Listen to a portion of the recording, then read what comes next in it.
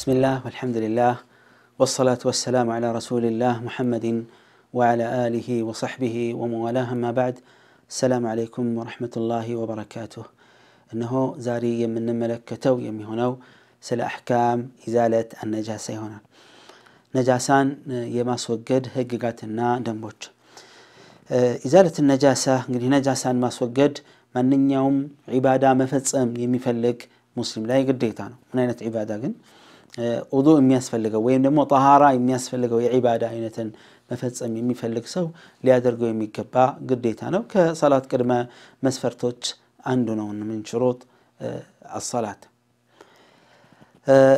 نجاسا ماس وقد شريعة ويد نقاقينو الله سبحانه وتعالى وثيابك فطهر سيل عندنا تفسير معنا لبسهن عزدا يميلنو ሌላኛው ማዕና አለ ስራህን ሁሉ የሚልም ማዕና አለ።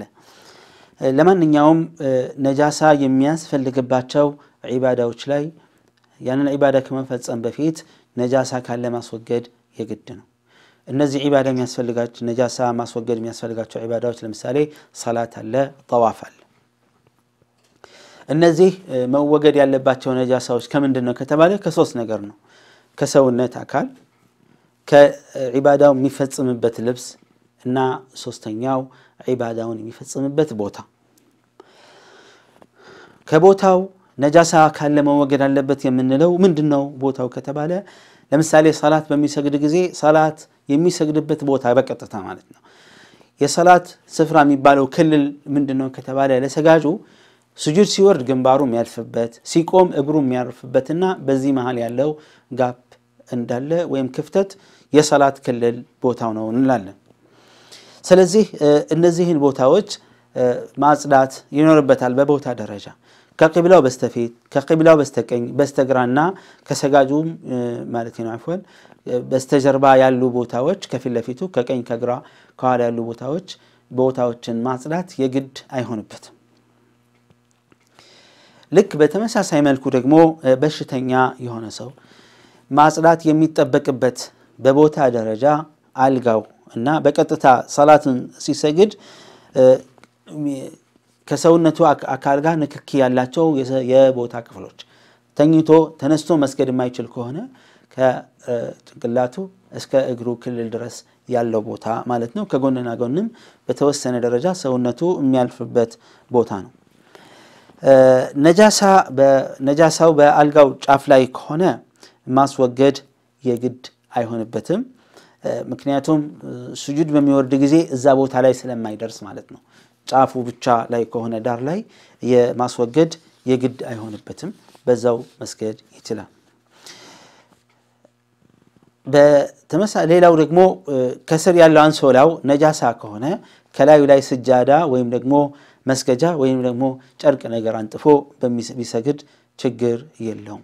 በዚህ አይነት መልኩ መስገድ ይችላል ነው ሌላው ነጃሳ መወገድ አለባቸው የሚባሉ የነጃሳ አይነቶችን በተመለከተ ሰውነት ላይ የሚሆን ከልብስም ይሁን ቦታ ላይ ምን አይነት ነጃሳዎችን ነው የምናስወግደው? ከተባለ ከሁለቱ መጸዳጃ ስፍራ የሚወጡት ፈሳሾች ውሃ ሽንትና አይነ ምድርና የመሳሰሉት እነዚህን ማስወገድ ያስፈልጋል።